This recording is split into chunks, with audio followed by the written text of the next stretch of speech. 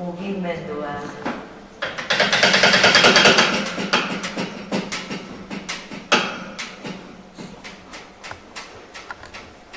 Balea, Musekintza proiektua Arrantzaleen museora ere heldu da. Improvisazio ilustratuak egin dira Arrantzaleen museoan Bermeon.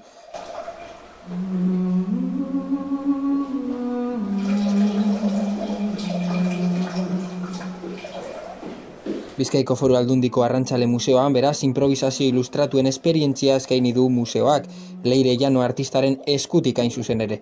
Museoak eta arte eszenikoak ustartzeko foru erakundeak bultzatutako ekimen honek berrogeta mar minutuko bi saio eskaini ditu. Lehenengo saio amabietan izan da eta bigarrena zazpiretan. Leire Llano estudioren improvisazio ilustratuak publiko heterogeneo bati, adinak bereizi gabe, zuzendutako esperientzia artistiko parte hartzaileak direla jakinarazi dute Arrantzale Museotik eta Bizkaiko Foru Aldunditik.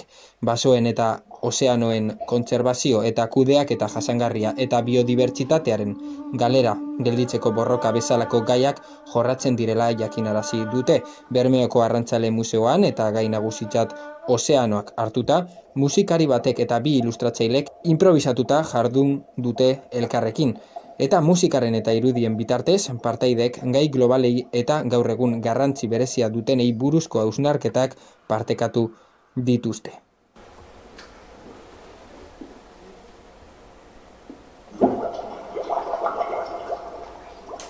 Proposamen artistiko hau Leire Janok Bila Jardin lan espazioan sortutako jardueren barruan kokatzen dela ikusi da. Toki hori ikaskuntzarako, elkarrizketarako eta esperientziak trukatzeko gune irekia izan da, non jarduera eta bizipen partekatuak proposatu diren. Improvisazio ilustratu bakoitzaren bidez publikoaren artean aldaketarako hasi txikia landatu alizatea. Espero izan da eta hori lortu da. Itxasoa, ilustrazioa, musika eta improvisazioa. Osagai horiek naztuta joan dira Arrantzale Museoan, Bermeon egin den erakustaldian. Musekintza jaialdiaren barruan, Leire Jano zuzendariaren eskutik, Janire Orduna eta Beatriz Aparizio ilustratzaileak ere egon dira, eta baita Itziar Madariaga musikariak ikuskizunaren zati bat eskaini du.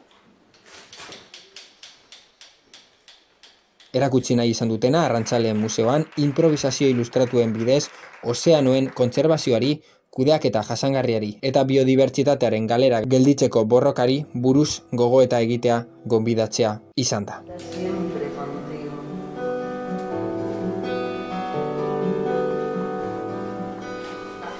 ¿Cómo lo vas